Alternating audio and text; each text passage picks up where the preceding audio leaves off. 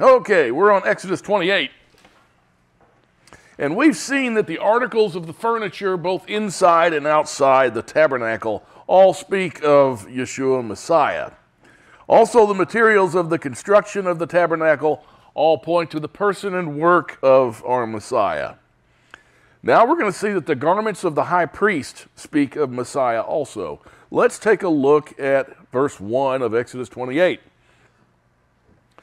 We read, Then bring near to yourself Aaron your brother and his sons with him from among the sons of Israel to minister as priests to me Aaron, Nadab, and Abihu, Eleazar, and Ithamar, Aaron's sons. Now, Aaron was made high priest. His sons were made priests also. They were uh, called to a high order of service to Elohim. Now, we were told, and we talked about this in Hebrews, that Yeshua, Messiah, is a high priest after the order of Melchizedek or Melchizedek. That's in Hebrews 7, starting at verse 11. Now, if perfection was through the Levitical priesthood, for on, the basis, for on the basis of it the people received the Torah, what further need was there for another priest to arise according to the order of Melchizedek, and not be designated according to the order of Aaron? For when the priesthood is changed, of necessity there takes place a change of the law also. And that word for changed is actually better uh, translated transferred. For the one concerning whom these things are spoken of belongs to another tribe from which no one has officiated at the altar. For it is evident that our Adonai was descended from Judah, a tribe with reference to which Moses spoke nothing concerning priests. And this is clearer still if another priest arises according to the likeness of Melchizedek, who has become such not on the basis of Torah, physical requirement, but according to the power of an indestructible life. For it is witnessed of him you are a priest forever according to the order of Melchizedek. And that comes from the Psalms. Now, this guy, Melchizedek, he is in, uh, he appears in Genesis 14, starting at verse 18. And Melchizedek, king of Salem, brought out bread and wine. Now, he was a priest of Elohim Most High. And he blessed him and said, Blessed be Abram of Elohim Most High, possessor of heaven and earth. And blessed be Elohim Most High, who has delivered your enemies into your hand, and he gave him a tenth of all. Now, uh, Melchizedek is, uh, is referred to in the book of Genesis as a man who met Abraham and was called the priest of the Most High Elohim. It's very interesting that uh, Melchizedek is, is referred to as a priest of Elohim, and he came with bread and wine. I thought that was interesting.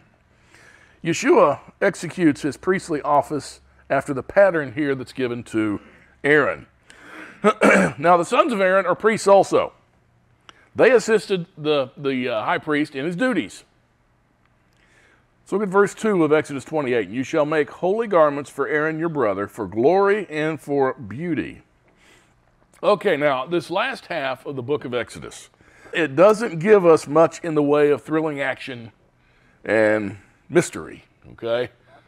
It's, uh, he gives instructions that seem to be somewhat dull. However, close inspection shows that these things point toward uh, to Messiah. And that's one reason why they're important for us today. Now, Scripture here uses instruction and it paints pictures for us. Scripture is often, it's, it's a picture book which uses symbols, and Elohim wants, wants us to learn the truths that he has for us by looking at these pictures. The garments of the high priest are, are holy. And what does that mean again? Set apart. It's for, it's for use in service to Elohim only. It's a set apart thing. These articles were for the glory of Elohim and were beautiful. Let's look at verse 3. And you shall speak to all the skillful persons who, whom I have endowed with the spirit of wisdom, that they make Aaron's garments to consecrate him, that he may minister as a priest to me. So Aaron is set aside for the work of serving Elohim. And he says Elohim has, uh, he says he's endowed, endowed a spirit of wisdom on certain people that have the skill to do these tasks. And apparently he's, he's, uh, he, he's imputed on their mind what he wants out of them. Elohim.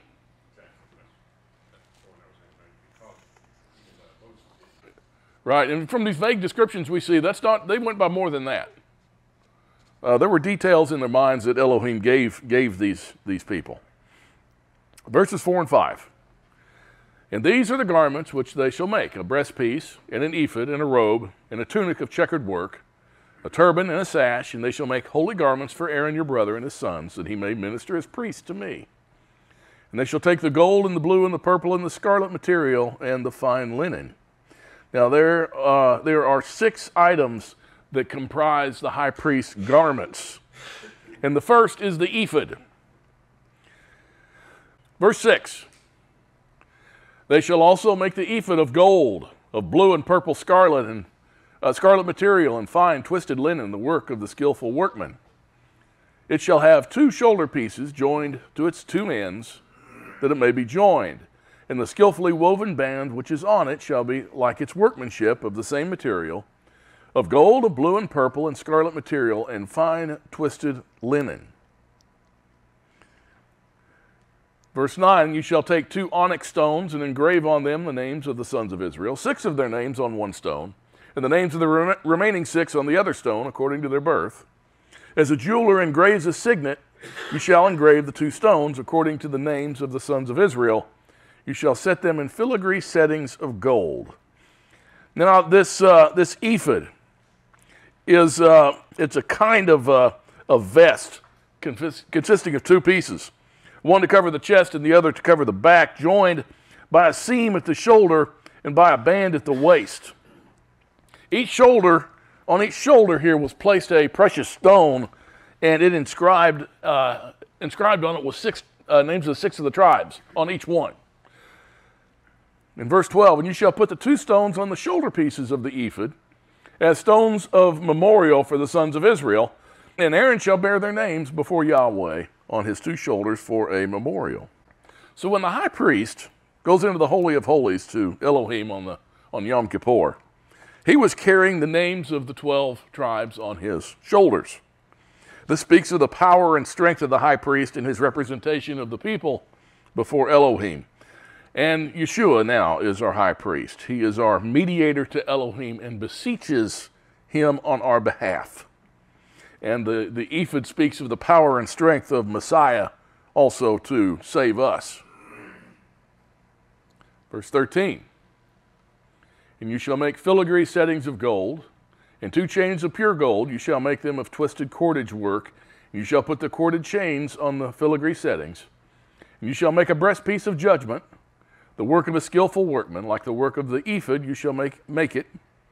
Of gold, of blue and purple and scarlet material, and fine twisted linen, you shall make it. It shall be square and folded double, a span in length and a span in width. Now, the breastplate was the most striking and brilliant object out of the whole attire. It was tied to the shoulders by gold chains and set with 12 stones, which were engraved uh, had engraved on them the names of Israel, of all the, all the tribes.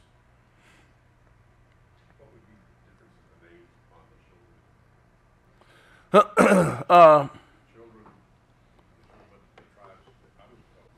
yeah, they're, they're going to be the same. We'll, uh, we'll get to that actually, just a little bit. Verse 17, you shall mount on it four rows of stones. The first row shall be a row of ruby, topaz, and emerald. The second row a turquoise, a sapphire, and a diamond. The third row a jacinth and agate and an amethyst. The fourth row a beryl and an onyx and a jasper that shall be set in gold filigree. The breastplate is to be worn when the high priest walks into the Holy of Holies within, uh, which is in the presence of Elohim himself. This breastplate speaks of all the tribes of Israel. The same 12 stones with the names of the 12 tribes of Israel also speak of the foundation of the city of New Jerusalem. Now, we're going to take a look at that. New Jerusalem, as described in Revelation, and keep in mind, Revelation is very symbolic. Okay? New Jerusalem is a picture of redeemed Israel.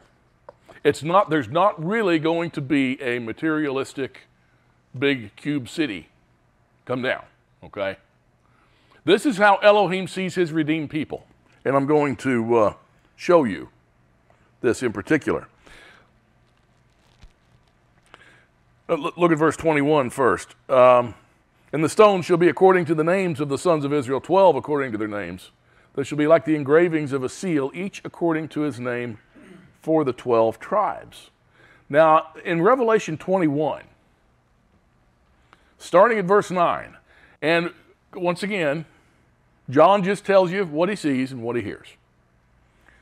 We read in verse 9, and one of the seven angels who had the seven bowls full of the seven last plagues came and spoke with me, saying, Come here, I'll show you the bride, the wife of the Lamb.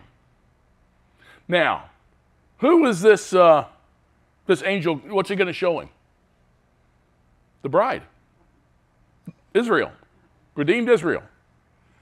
And he carried me away in the Spirit to a great and high mountain and showed me the holy city, Jerusalem, coming down out of heaven from Elohim. So he's going to show a representation of redeemed Israel here. Verse 11 Having the glory of Elohim, her brilliance was like a very costly stone, as the, a stone of crystal clear jasper. And it had a great and high wall with 12 gates. And at the gates, 12 angels. And names were written on them, which are those of the 12 tribes of the sons of Israel. Interesting. Just like the breastplate, eh? We have uh, these 12 gates, and inscribed on them are the 12 tribes of the sons of Israel. There were three gates on the east, three gates on the north, three gates on the south, and three gates on the west. And the wall of the city had 12 foundation stones, and on them were the 12 names of the 12 apostles of the Lamb. Um, and in a, in a symbolic way, remember when Yeshua told Peter, and upon you I'll build the assembly? Well, that's what he's referencing to. This type of thing. It had a great and high wall with 12 gates, and at the gates, 12 angels, and names were written on them, which are those of the 12 tribes of the sons of Israel. I was uh, looking at 12 and 13 again. These are the three gates uh, three gates on the east, three in the north, three in the south, and three gates on the west. Now, looking back at verse 21, of Exodus 28. The stones shall be according to the names of the sons of Israel, 12 according to their names. They shall be like the engravings of a seal, each according to his name for the 12 tribes. Going back to Revelation 21, verse 15. And the one who spoke with me had a gold measuring rod to measure the city and its gates and its wall. And the city is laid out as a square. Its length is as great as the width. And he measured the city with a rod. What else is this, uh, made in a square? Its length and its width are the same thing. Let me give you a hint. Breastplate, yeah. He measured the city with a rod, 1,500 miles. Its length and its width and height are equal. Um, and he measured its wall, 72 yards. Actually, you know, uh, the New American Standard translated these distances for us and put it in distances that we can relate to. All right? Uh, it actually was not in 1,500 miles. That's not what it says in the original.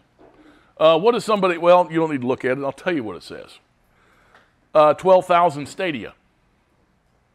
Okay? What's a stadia? Eighth of a mile. Yeah, it's a furlong. Right. Right. And according to its walls, we, they wrote 72 yards, but it says 144 cubits. Okay, there's two cubits in a yard.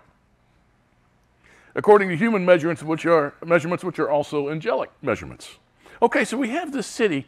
Its, its length and its width and its, its height are 12,000 stadia. Uh, what is 12 a reference to? Every time in Scripture. Symbolic reference to Israel. Always. 144, interesting number. How do you, what do you multiply to get 144? 12 times 12. Uh, see the picture so far? And uh, this is, I mean, people have, have, gone to great lengths to try and figure out what this means, and it's not that difficult. the city's laid out as a square, it says in fixed it. I have the 12,000 stadia here. And if you look at uh, Exodus 28, verses 15 and 16 shall make a breastpiece of judgment The work of a skillful workman, like the work of the ephod, you shall make it of gold, of blue and purple scarlet material, finely twisted linen, you shall make it. It shall be square and folded double, a span in length and a span in width. And if you look at these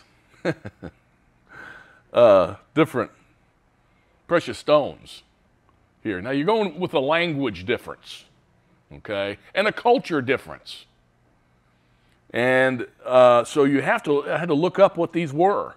In Revelation 21, starting at verse 19, the foundation stones of the city wall were adorned with every kind of precious stone. The first foundation stone was jasper, the second, sapphire, the third, uh, chalcedony. Uh, you say chalcedony, I say quartz. The fourth, emerald. The fifth, uh, uh, sardonyx. You say sardonyx, I say onyx. The sixth, sardius. That's a ruby. The seventh, chrysolite, transparent gold yellow. That's a really a diamond. The eighth beryl, the ninth topaz, the tenth uh, chrysoprase, that's turquoise. The eleventh jacinth, the twelfth amethyst, same list. Same list. Any questions on that so far?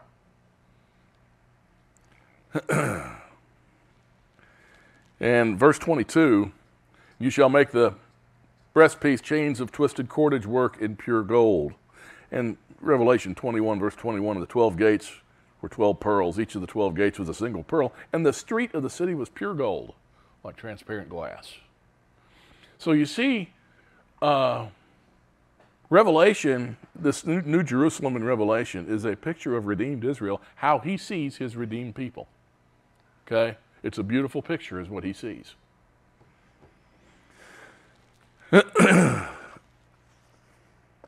Any thoughts on that before we move on? Nope. Nope. See, those numbers always mean a lot. I found that out. Those numbers in Scripture, you know, it says 1,500 miles. What? That's, let's see, 1,500 divided by 12, that didn't work. So I looked it, looked it up. Oh, 12,000 stadia. Now it's obvious. Okay. They're just trying to help us. Verse 23 of Exodus 28. And you shall make on the breastpiece two rings of gold, and shall put the two rings on the two ends of the breastpiece. And you shall put the two cords of gold on the two rings at the ends of the breastpiece. You shall put the other two ends of the two cords on the two filigree settings, and put them on the shoulder pieces of the ephod at the front of it. And you shall make two rings of gold, and shall place them on two ends of the breastpiece, on the edge of it, which is toward the inner side of the ephod. And you shall make two rings of gold, and put them on the bottom of the two shoulder pieces of the ephod, on the front of it, close to the place where it's joined, above the skillfully woven band of the ephod. And they shall bind the breastpiece by its rings to the rings of the ephod with a blue cord, that it may be skillfully, may be on the skillfully woven band of the ephod, and that the breastpiece may not come loose from the ephod. And Aaron shall carry the names of the sons of Israel and the breastpiece of the judgment over his heart when he enters the holy place for a memorial before Yahweh continually. And you shall put in the breastpiece of judgment the Urim and the Thummim. They shall be over Aaron's heart, and when he goes in before Yahweh, and Aaron shall carry the judgment of the sons of Israel over his heart before Yahweh continually. Okay, um, the Urim and the Thummim. Now, most scholars say the words stand for lights and perfection or true instruction. They were kept in the breastplate, and apparently Elohim used them to give the high priest yes or no answers to questions. Uh, we're giving absolutely no details as to what the Urim and the Thummim look like. Why is that? Be selling them at Walmart. That's right. Yep. Yep be like that uh, magic eight ball. Try again.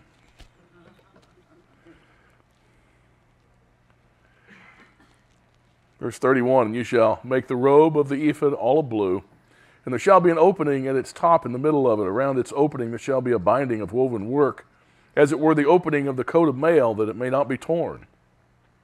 And you shall make it on its hem pomegranates of blue and purple and scarlet material, all around it on its hem, and bells of gold between them all around, a golden bell and a pomegranate, a golden bell and a pomegranate all around the hem of the robe. Yeah. Before you go on, did you know that there is six, 613 seeds in a pomegranate? No, I didn't know that. That's interesting. There are 613 seeds. Seeds in every pomegranate. And the pomegranate has 613 seeds in it. Yeah, 613. That's that's what she's. That was excellent, Cherry. Now, uh, pomegranates speak of fruit, and uh, what's what's fruit symbolic of? Works. Or works. That sure fits what you said. Uh, bells speak of a, of witness. You know, we're to be witnesses of Torah and Messiah, and we should have the fruit of the Spirit in our lives. We should have a life of obeying Torah through the fruits of the Spirit to back up our witness. We need a bell and a pomegranate, and a bell and a pomegranate. Verse 35 And it shall be on Aaron when he ministers, and its tinkling may be heard when he enters and leaves the holy place before Yahweh, that he may not die. I wish they'd said ringing instead of, well, anyway. When Aaron was in the holy place, in the Holy of Holies, serving Elohim, they, they could hear him in there. The bells would be ringing, okay? He was there to work, not to take a nap. And if the people couldn't hear the sounds of the service, that likely meant he was dead.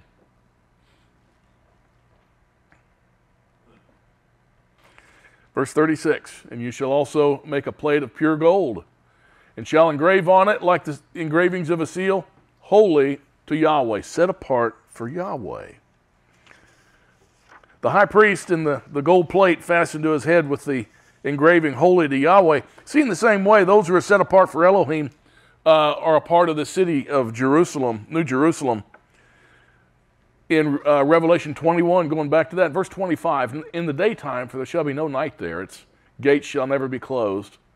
And they shall bring the glory and honor of the nations into it, and nothing unclean, and no one who practices an abomination and lying shall ever come into it, but only those whose names are written in the Lamb's book of life. Verse 37 And you shall fasten it on a blue cord, and it shall be on the turban, it shall be at the front of the turban, and it shall be on Aaron's forehead, and Aaron shall take away the iniquity of the holy things which the sons of Israel consecrate. With regard to all their holy gifts, it shall always be on his forehead, that they may be accepted before Yahweh. And you shall weave the tunic of checkered work of fine linen, and you shall make a turban of fine linen. You shall make a sash, the work of a weaver. Now, these garments distinguished Aaron from the other priests, okay? The other priests didn't wear the ephod and the, the turban like that um, with, the, with the name on it.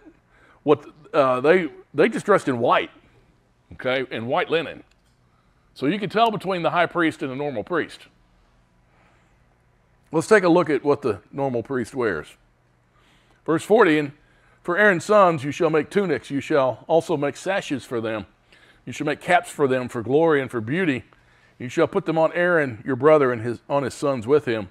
You shall anoint them and ordain, uh, ordain them and consecrate them that they may serve me as priests. And you shall cover, uh, shall make them, uh, make for them linen breeches to cover their bare flesh. And they shall reach from the loins even to the thighs, and they shall be on Aaron and on his sons when they enter the tent of meeting, or when they approach the altar to minister in the holy place, so that they do not incur guilt and die. It shall be a statute forever to him and to his descendants after him. So Elohim wants his priests dressed in white linen and sashes. You know, this is interesting thing. Scripture says that we will be his priests. He wants a nation of priests. In 1 Peter 2, verse 9, but you are a chosen race, a royal priesthood, a holy nation, a people for Elohim's own possession, that you may proclaim the excellencies of him who has called you out of the darkness into his marvelous light. Um, seeing his bride in Revelation. Interestingly enough, in, in Revelation 19, verse 14, and the armies which are in heaven, clothed in fine linen, white and clean, were following him on white horses. So you see, these things, it, you see how Scripture is a pic- picture book for us. It really is. This, and we talk about the symbols in Scripture and how important they are to understand and how they relate to us. And there's another part that I, I should have put in here and I didn't. Um, it is in uh, Ezekiel chapter 28, I do believe.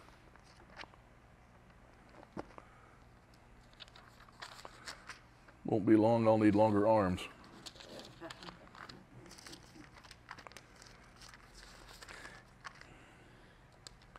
Now, this uh, king of Tyre, and people think, by the way, in, in, in Ezekiel 28, they think this is a, uh, the account of Satan uh, rebelling uh, out of pride against Elohim. That's not what this is. This is a, this. Satan didn't rebel. Okay, Satan just doing what Satan was created to do. This this in chapter 28. It's about the uh, king of Tyre, and it's it talks. It uses it, once again. It uses um, it uses symbolism to tell us things. It tells him, for instance, that he was in Eden. All right, king of Tyre was in Eden. Now, what does that mean? Well, that means he was Satan himself and he was in the Garden of Eden. No, no, no. No, it means he was in the most beautiful place and had everything. The king of Tyre did. Tyre was the richest city in the world, and he was king of it. All Mediterranean trade went through Tyre. Okay? And the king makes sure he got his, his little bit every time. And it says here, um, again, the word of Yahweh came to me, saying, Son of man, take up a lamentation over the king of Tyre and say to him, Thus says Adonai Yahweh. This is verse uh, 12. You had the seal of perfection, full of wisdom and perfect in beauty. You were in Eden, the garden of Elohim. Every precious stone was your covering the ruby, the topaz, the diamond, the beryl, the onyx, the jasper, the lapis lazuli, the turquoise, the emerald, and the gold. What are those 12 stones? The same 12 stones. What did he call it? You had the seal of perfection. That's what he sees. That's what Elohim sees when he sees his redeemed people. Okay, when when you know there's there's going to be a time there's a judgment, and we're going to be judged. And what he's been doing is writing his Torah on our hearts and on our minds, right? So when he looks at us, when he looks at his people, and he looks at our heart, what's he going to see? His Torah. What's he going to say? Well done, my good and faithful servant.